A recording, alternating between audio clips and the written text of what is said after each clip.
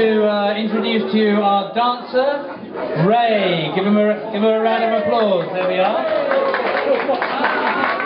So you're going to be a great dancer.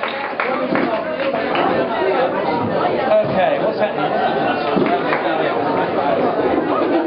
Okay, we're doing our last number for you now. C'est c'est, euh, notre dernière chanson. Euh, ça s'appelle euh, Chanson de Mardi Gras.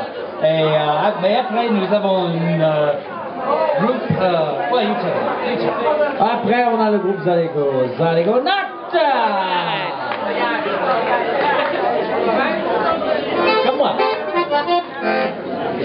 All right.